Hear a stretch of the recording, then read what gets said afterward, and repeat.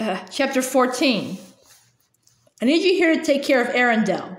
Hans felt on a small hand on his arm and heard her request, but for a few moments he barely registered either. His head felt fuzzy, as though it, like the kingdom around him, were filling up with snow.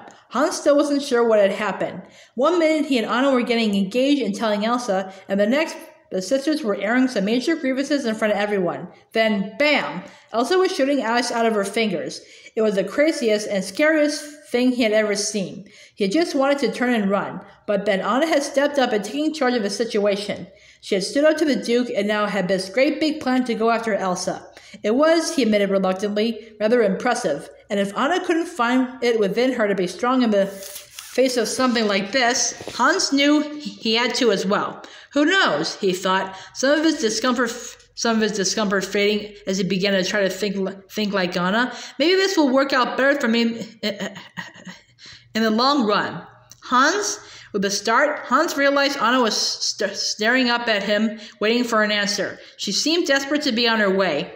She kept looking over her shoulder at the cold mountains, mountains in, in the distance. He couldn't help wondering if she had any idea of the amount of power she was putting in his hands. Looking down into Anna's eyes, he finally nodded. On my honor, he answered. His voice quavered slightly as he said the words, and he hoped Anna would chalk it up to, to nerves, not, not excitement. She didn't even notice. Letting out a visible sigh of relief, after all, the temperature was now well below freezing. She grabbed her cloak from Kai's outstretched hand and then hopped onto her horse. Turning, she addressed the crowd. I leave Prince Hans in charge. Instantly, The gathered crowd began to murmur. He made, he made out a few confused Prince Hans and Who's Prince Hans questions. He could hear others saying things like, The princess shouldn't leave now, and What will happen to us if she's gone? The thought gave Hans pause. He, needed Anna if he was going to pull off his plan. What if something happened to her? He reached up a hand and placed it on Anna's knee. Are you sure you can trust her? He asked. I don't want you getting hurt.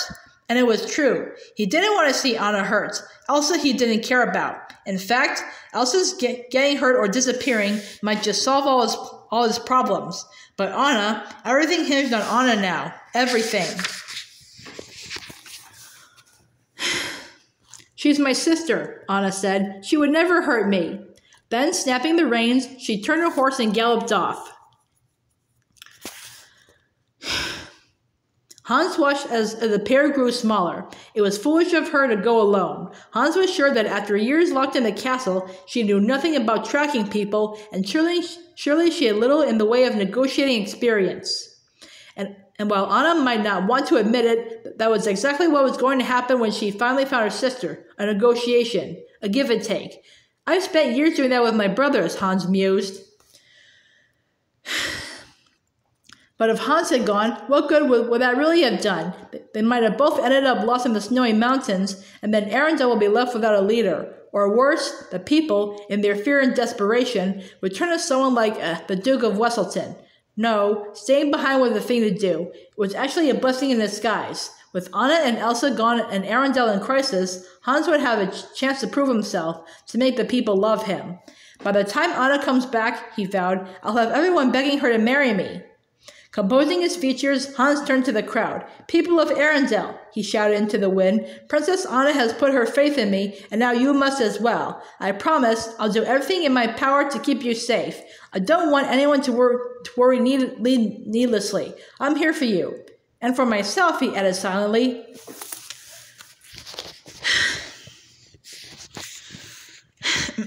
I might have bitten off more than I can chew, Hans thought a few hours later as he looked out over the courtyard. The situation was dire to say the least. A layer of solid ice covered everything, and the snow was still falling fast. The sky was a dull slate gray, the sun swallowed up completely, and it was growing darker by the minute.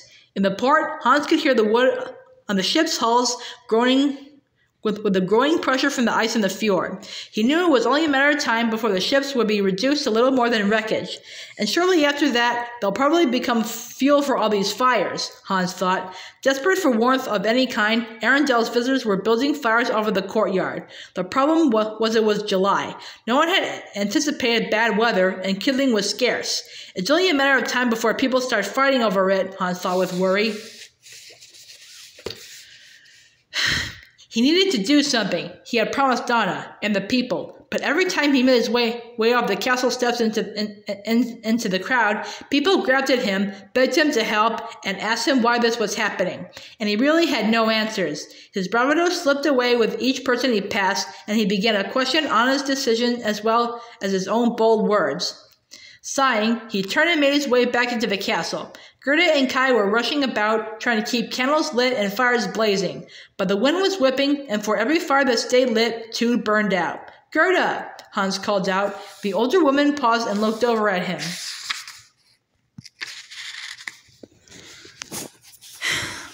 yes, sir? she asked, her voice weary. Hans opened his mouth to bark an order, but, but thought otherwise. He could tell Gerda was scared. It wouldn't do, do to act, act like the bully. He needed to show her he was on her side. Are you okay? he asked. Is there anything I could do for you?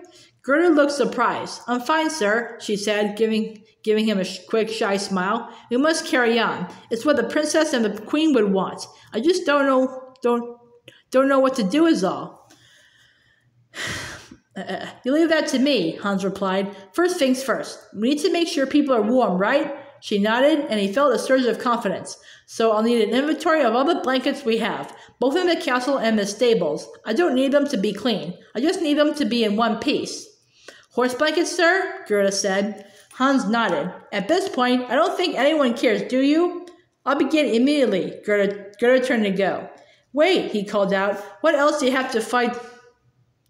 What else do you have to, to fight the cold? There must be a storeroom of the royal family's winter clothes, no? Send someone to collect everything they can from there as well. Clothes, stoles, muffs, anything. He paused as as another idea came to him. And then let's go check out the Great Hall. We should be able to fit quite a few people in there. We can remove the furniture and then. Gerda nodded, her eyes wide, and the prince continued to rattle off a list of to dos setting up cots, getting food from the pantry, providing toys for the young children to keep them distracted. Finally, noticing her look, Hans stopped and smiled sheepishly. Am I asking too much? he said. No, sir, she replied. Not at all. I was just thinking. Well, I was just thinking it is nice to have someone here to support the girls. It's been so long since the king. Her voice trailed off. Hans walked over and put a hand on her shoulder. Don't fret, Gerda, he said, giving it a squeeze. I'm here now. Yes, sir. Yes, you are. Gerda turned to go and then paused. I'll get going on the blankets first, Prince Hans. I'll find you as soon as we have some gathered. As Gerda shuffled, shuffled down the hallway, Hans let out a breath. This was more like it. He felt in control now. He was going to get the Great Hall set up as a relief station for Arendelle's visitors and get them inside out of the elements. This day had comforted, confirmed what Hans had always believed to be true. Who would make an excellent king. It didn't take long for Gerda to gather a, a large number of blankets and cloaks. Finding Hans in the library writing lists of what still needed to be done, she gestured for him to join her. When he walked into the hall, he was shocked to see at least a dozen castle staff standing there, arms loaded down with blankets in various colors, sizes, and shapes. A few more held warm cloaks in their hands. It was it was exactly what Hans had wanted. Good job, Gerda, he said. Gerda blushed at his praise. Now, let's start getting these outside and delivered and delivered to our guests. If you see children, be sure to get the warmest of, uh, uh, uh, of the blankets, please. Same with the elderly. They will not be able to fight off the cold as well. As the staff began to head toward the main castle door, Hans looked over at Gerda. I'm going to go outside now, but I need you to stay here and work with Cook to get the soup and hot glogg into the great hall. I'll start sending people in shortly. Turning, he followed the staff out the door. It was time to show everyone the leader he could be and would be if they let him